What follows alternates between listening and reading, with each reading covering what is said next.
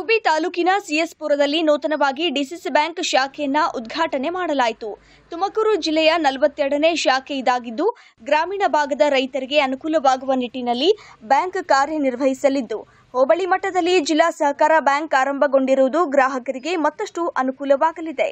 ಬ್ಯಾಂಕ್ನ ಉದ್ಘಾಟನಾ ಸಂದರ್ಭದಲ್ಲಿ ಡಿಸಿಸಿ ಬ್ಯಾಂಕಿನ ಜಿಲ್ಲಾ ನಿರ್ದೇಶಕ ಹಾರನಹಳ್ಳಿ ಪ್ರಭಾಕರ್ ಮಾತನಾಡಿ, ಗುಬ್ಬಿ ತಾಲೂಕಿನಲ್ಲಿಯೇ ನಾಲ್ಕು ಶಾಖೆಗಳನ್ನು ಮಾಡುವ ಮೂಲಕ ರೈತರು ಆಯಾ ಹೋಬಳಿಯಲ್ಲಿ ಎಲ್ಲಾ ರೀತಿಯ ಸಹಾಯ ಪಡೆಯಲು ಬ್ಯಾಂಕ್ ತೆರೆಯಲಾಗಿದ್ದು, ಸಹಕಾರ ಸಚಿವರಾದ ಕೆಎನ್ ರಾಜಣ್ಣ ಅವರ ಕನಸಿನ ಕೂಸಾಗಿದೆ.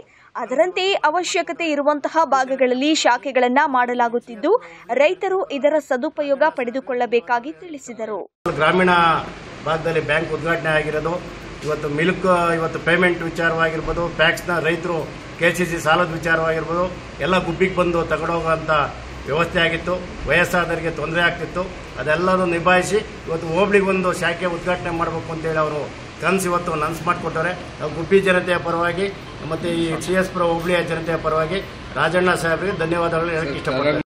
ಬ್ಯಾಂಕಿನ ಜಿಲ್ಲಾ ನಿರ್ದೇಶಕ ಎಸ್. ಲಕ್ಷ್ಮೀನಾರಾಯಣ ಮಾತನಾಡಿ, ರೈತರಿಗೆ ಅನುಕೂಲವಾಗಬೇಕು ಎಂಬ ಹಿನ್ನೆಲೆಯಲ್ಲಿ ಹೋಬಳಿ ಮಟ್ಟದಲ್ಲಿ ಶಾಖೆಗಳನ್ನು ತೆರೆದಿದ್ದು, ಅವರಿಗೆ ಎಲ್ಲ ರೀತಿಯ ಅನುಕೂಲ ಮಾಡುವುದು ನಮ್ಮ ಗುರಿಯಾಗಿದೆ ಎಂದು ತಿಳಿಸಿದರು. ಮತ್ತೆ ಇಲ್ಲಿನ ಗ್ರಾಮಸ್ಥರು, ಮತ್ತೆ ಎಲ್ಲ ಪಂಚಾಯಿತಿ ಅಧ್ಯಕ್ಷರು ಸದಸ್ಯರು ಮತ್ತೆ ಇಲ್ಲಿನ ಸಾರ್ವಜನಿಕರು, ಗ್ರಾಹಕರು, ಎಲ್ಲ ಎಲ್ಲರಿಗೂ ನಮ್ಮ ಬ್ಯಾಂಕಿನ ಪರವಾಗಿ ಅವರಿಗೆಲ್ಲ ಧನ್ಯವಾದಗಳನ್ನು ಅರ್ಪಿಸ್ತಾ ಈ ಒಂದು ಬ್ಯಾಂಕು ಇವತ್ತು ಉದ್ಘಾಟನೆ ಆಗಿರೋದು.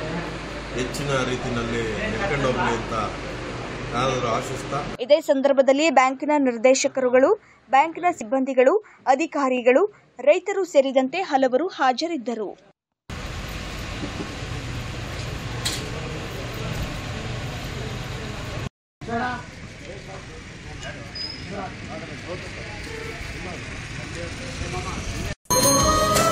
ಚಾಲುಕ್ಯ ನ್ಯೂಸ್ ಜನರಿಗೋಸ್ಕರ.